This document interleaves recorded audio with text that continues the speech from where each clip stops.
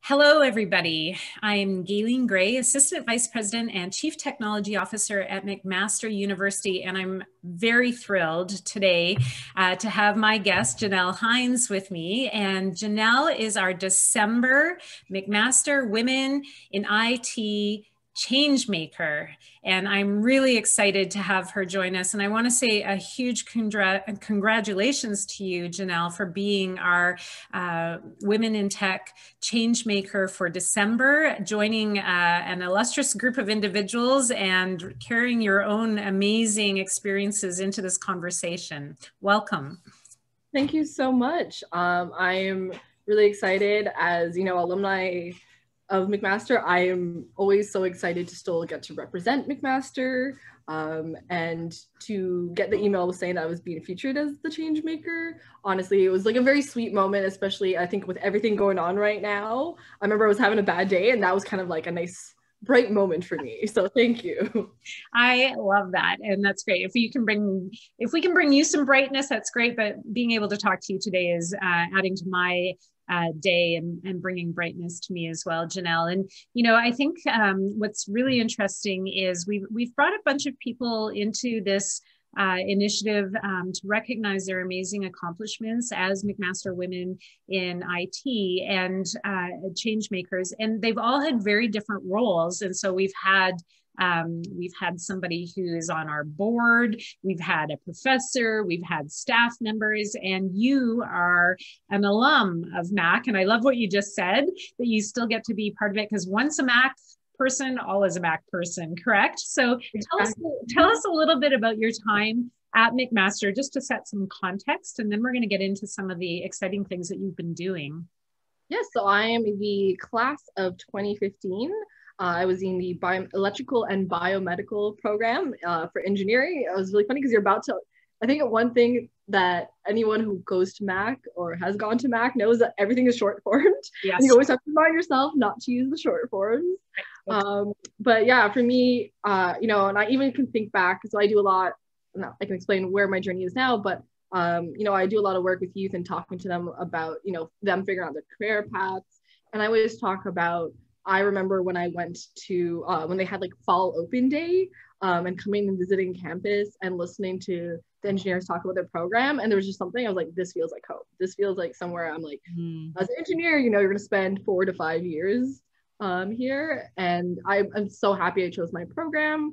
Um, and specifically, I chose electrical and biomedical engineering uh, because very, from young, I was that kid that loved technology.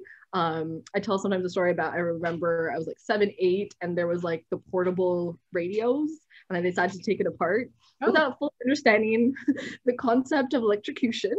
Um, so still turned on.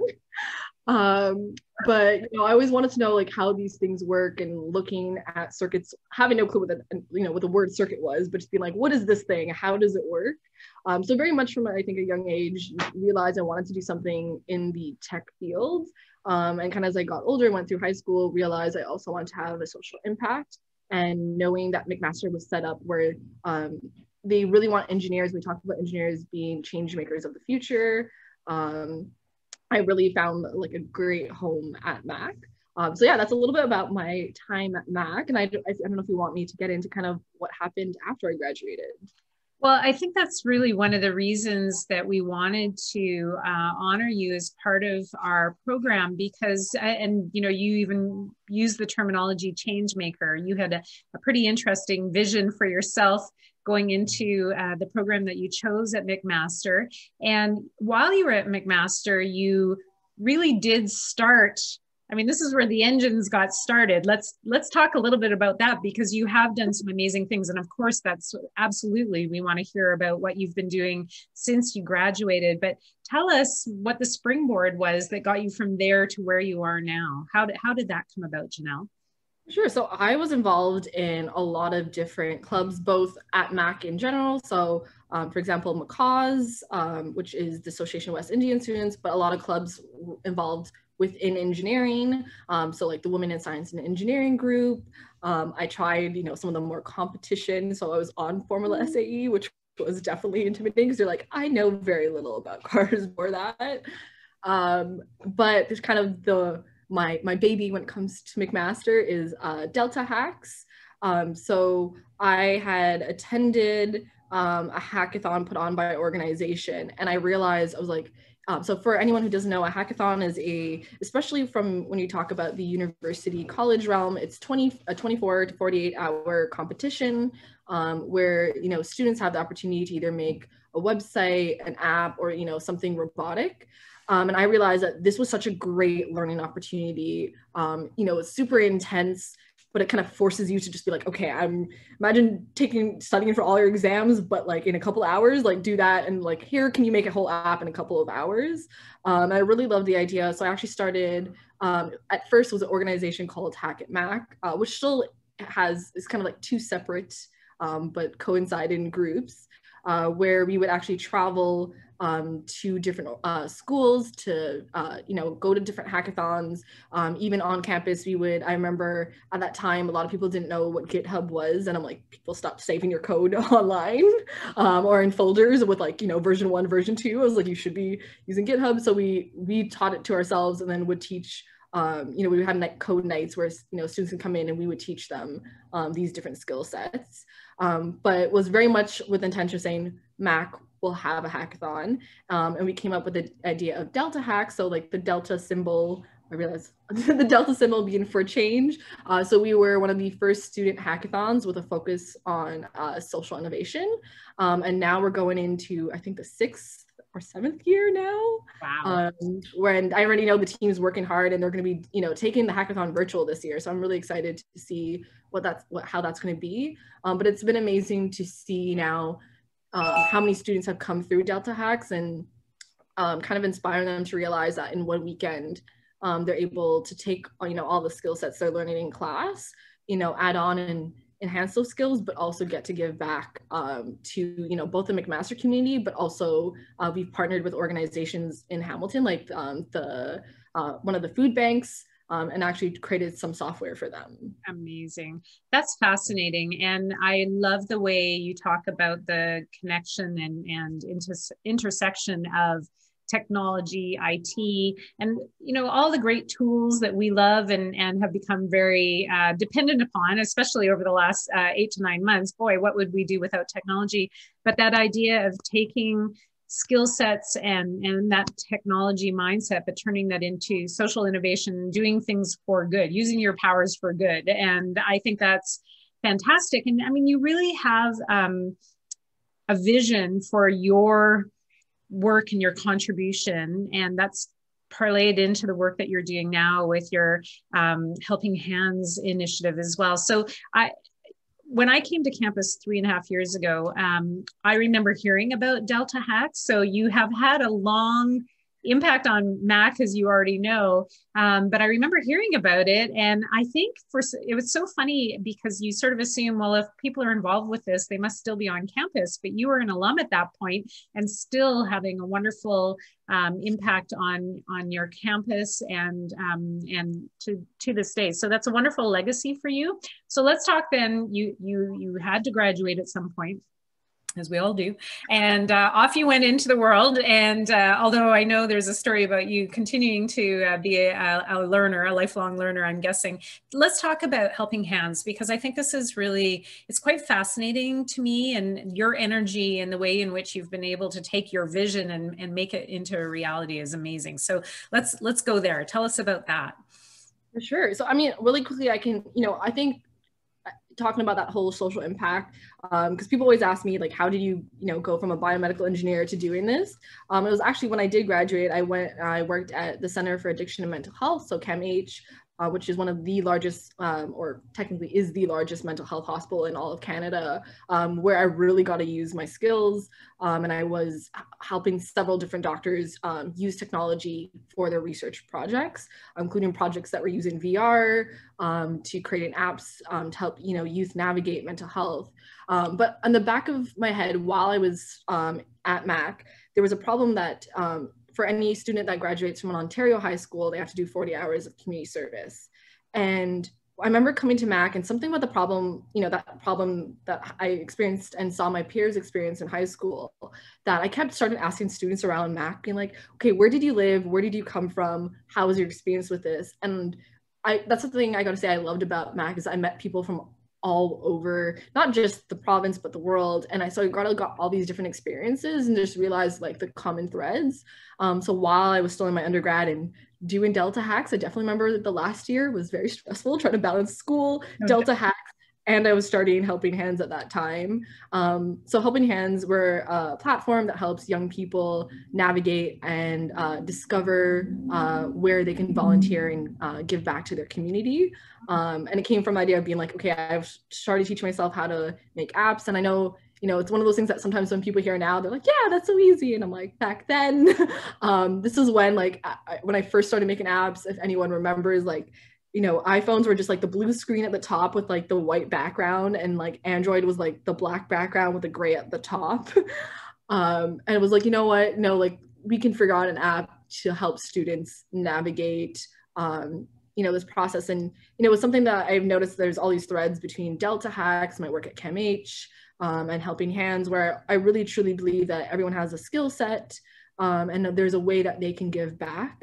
Um, and you know, I truly believe as you know, people who are powering the technology that everyone uses today, there is so much power because exactly as you said, the past couple months, you know, I'm imagining what the difference between, you know, the 1919, 1919 pandemic is versus now.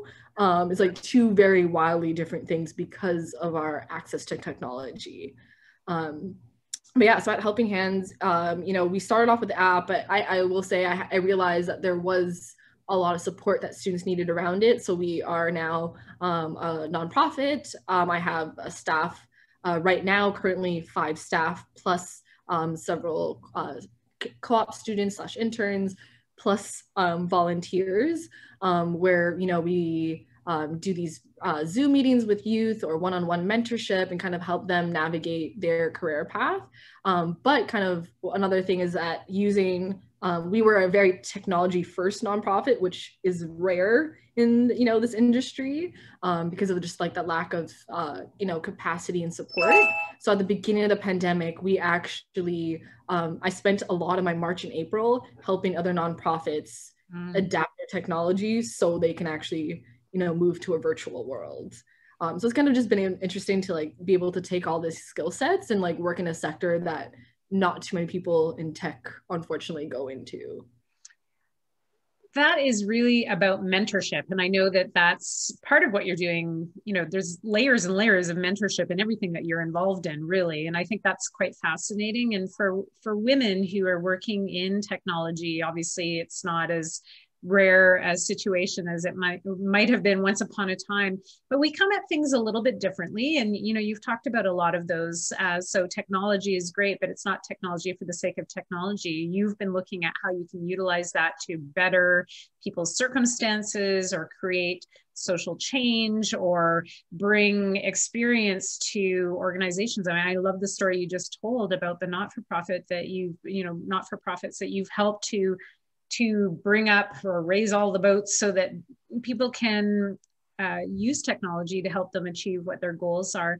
So talk a little bit about that mentorship piece because you're you're still an individual who's um, at the earlier stages of your career, you have an opportunity to go in all sorts of different directions and you're already mentoring people. And, and talk about that and what that means to you, please. Sure. So, you know, one thing that I guess I love, a word that I love to use is the word sponsorship. Yeah. Um, versus mentorship. So I remember hearing it a couple years ago and then I was like, wait, why do we always talk about this? Like, you know, uh, so for anyone maybe not familiar, um, the way I kind of define mentorship versus sponsorship is mentorship is like, yes, that person that's going to um, give you the advice, help you, you know, navigate the sector. But a sponsor is someone who's actually going to open the doors for you and kind of, if they hear about certain things, be like, hey, you know, Janelle, did you think about this?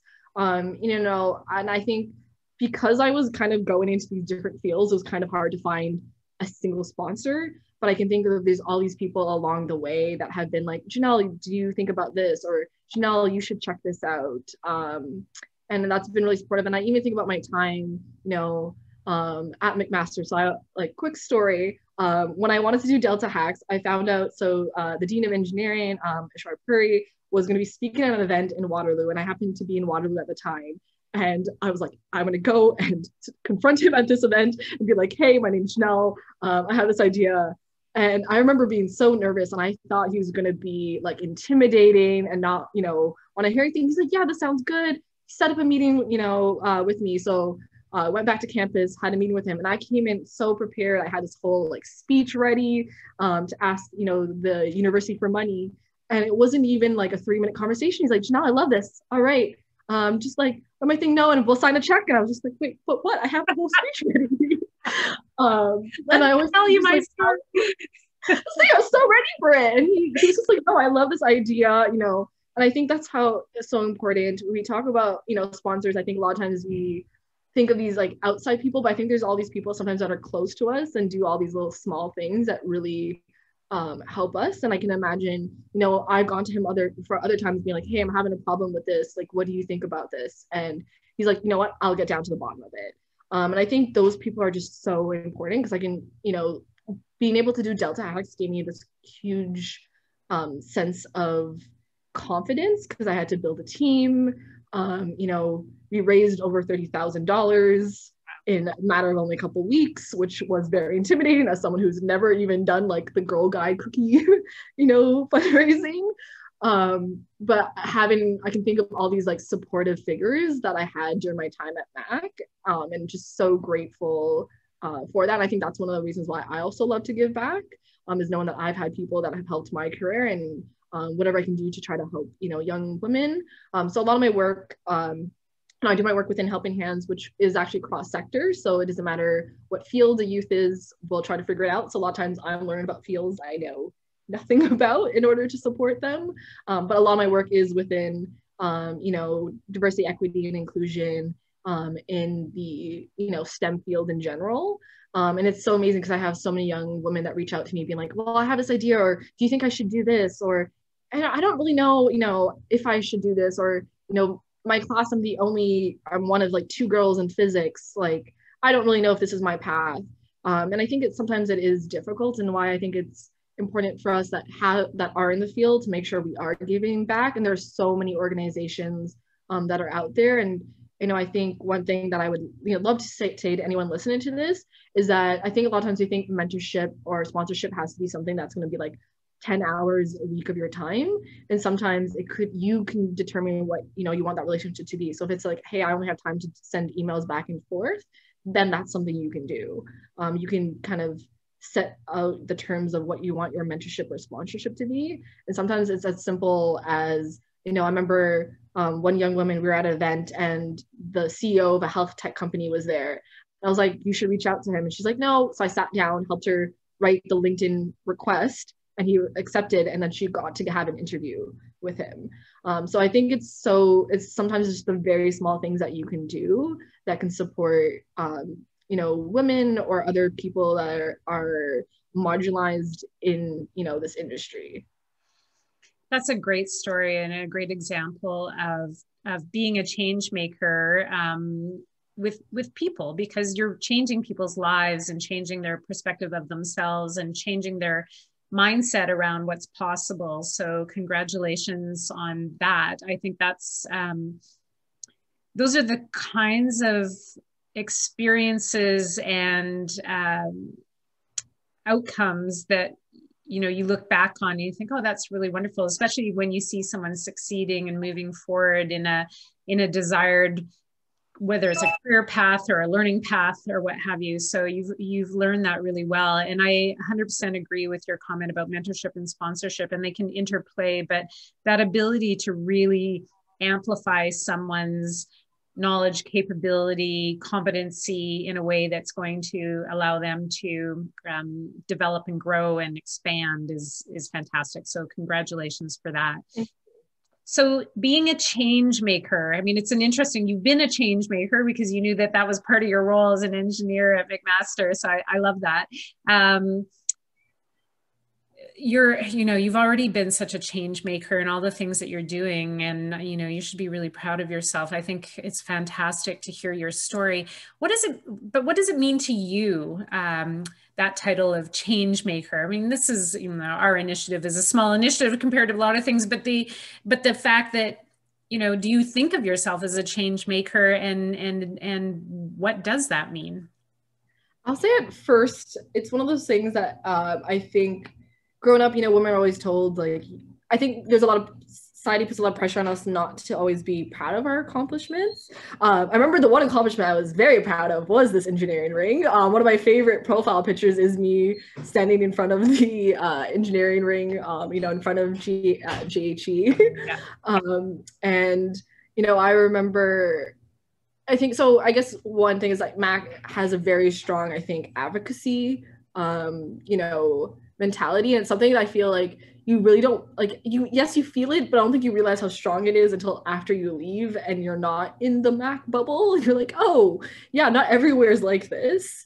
Um, and you know knowing that you know for example uh, mcmaster engineering has the engineering society program. That's something that like basically you can't really find in any other school. Um, and although i didn't get to participate in that program um, i think i got to like kind of see people do advocacy work you know across the different um, you know faculties so when I was graduating, again, I was a person that I did not, I was not the largest like speaker. Like I wasn't a person that very much wanted to speak, um, but I did see a lot of issues. I not saying um, overall with like STEM um, and just seeing like that lack of, you know, um, female representation, but also noticing like where is the indigenous representation um, in this field, um, and even little things like you know I think one thing that I, I've noticed is that we talk a lot about okay, let's get women into engineering or computer science, but we don't talk about women in the trades. Mm. Um, so I kind of started being like, okay, how can I kind of make these little differences, you know, as an individual? Um, so one thing that I did, um, not right away, but like, you know, I've tried to find myself what are organizations either I can volunteer with, or um, or what are stuff I can just put out there um, and have conversations like on Twitter um, and kind of change some people's minds. Um, and I've had the you know opportunity now to actually talk to um, different governments, so including um, the Canadian government, both provincially, um, nationally, and I've even had the chance to talk to the Prime Minister of Netherlands about women in science and technology. and it's been amazing to like have these conversations and just realize help them kind of realize what are some things that I think you might be like missing on and thinking about? So um, the trades has been a big conversation I had um, with all levels of government, being like, what are we doing to make sure? Um, what are some of those barriers, and like what can you as a government be doing to kind of overcome that?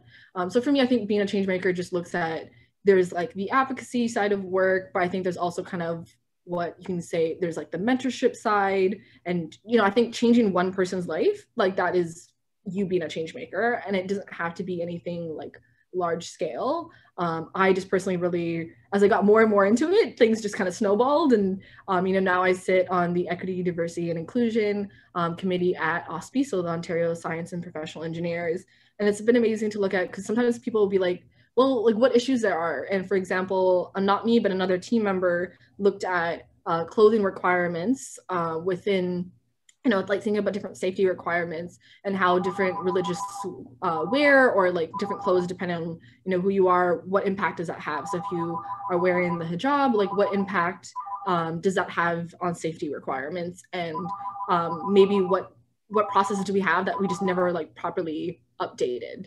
Um, so I think there's so many little things. So sorry about the phone. We're just gonna keep talking. It's fine.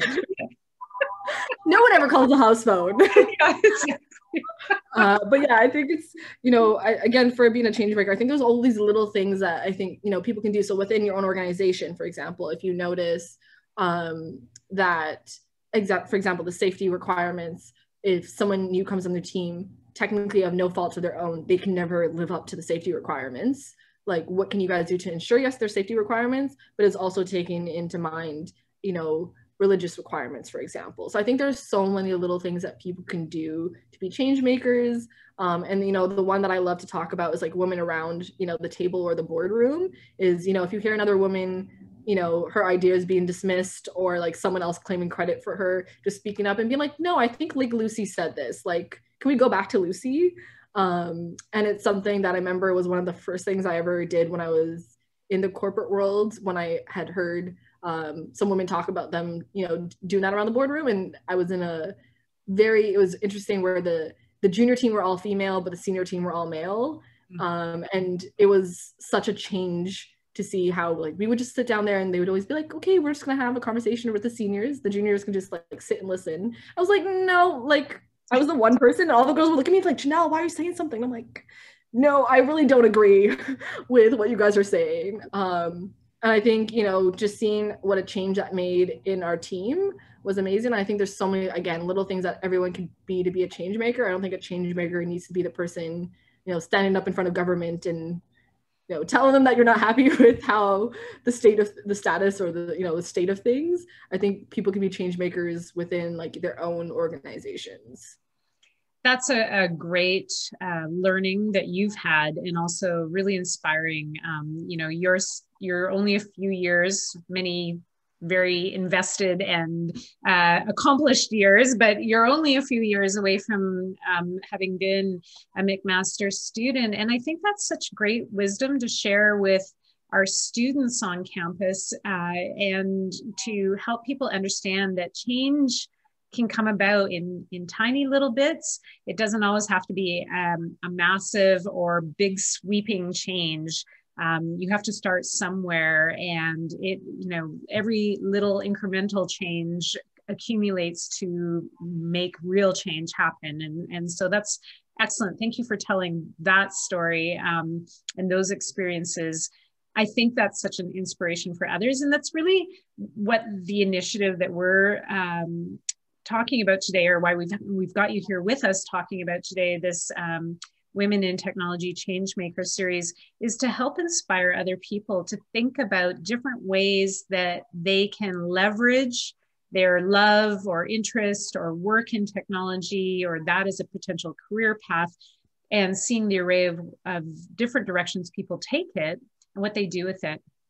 So I want to thank you very much for bringing your perspective. It's just been a joy. You really are delightful. You are um, so optimistic and so confident in a way that you know confident that we can do better. And and i want to thank you for that because i think that's a really important message for all of us. And you know i've certainly learned a lot from you today even this short amount of time. Um, you are really an inspiration. So i want to thank you today janelle. I'm wondering is there anything you want to say before we wrap up today that you you'd like to share before we close up? Well, I'll say if, if anyone, uh, you know, has any questions or just, you know, wants to have a chat about women in tech or whatever, feel free to get in contact with me. I realize this is my uh been my Zoom background for the past month. So this is my social media, but if you want, um, my email is just Janelle at helpinghandsapp.com. Uh, please feel free uh, to get in touch and even advice on um, how you know you, you as a person in tech could support other nonprofits because trust if you're in any nonprofit group there are so many complaints about um, you know the lack of technology. And i was actually it's kind of those small impacts. I'm so mad about covid. I was actually going to go to the us for a nonprofit technology conference to hope to bring back knowledge um, here for the canadian uh, ecosystem. But if yeah if anyone you know has any questions or looking for ways um, to give back whether it's financially or with your time feel free. And i my brain is a database of different ways you can do that. So um, please feel free to you know reach out. Um, and you know if you know a, a high school student um, who's looking for resources, you can tell them to follow our so hard our Instagram because um, we post resources every day uh, for high school students, uh, mainly high school and university uh, age students. Um, so yeah, thank you again so much for having me. And again, I'm a very Mac Inch proud person. That's awesome. Well, we'll certainly be uh, sharing your story with people to throughout December as our December McMaster Women in Technology Change Maker. And I want to thank you for making the time, a very busy person that you are, and for all of the good work that you're doing. Um, there's just so many exciting things that you've got, and you're so you've got so much more time and so much more to do, Janelle. So, you know, anything that we can do to support you in your journey, I'm, I'm certainly want to offer that to you as well. But hey, if you could come up with a way to stretch and give more than 24 hours a day, please tell me. I will keep that. I love that you're putting these calls to action into this. So fantastic. That just, that in and of itself is fantastic. And uh, you're very motivating. Thank you so much. I wish you every success. And uh, McMaster's super proud of you. And we're looking forward to seeing what you do next because I'm sure it's going to be fantastic. uh, no pressure. Thanks so much, Janelle. I appreciate it very much.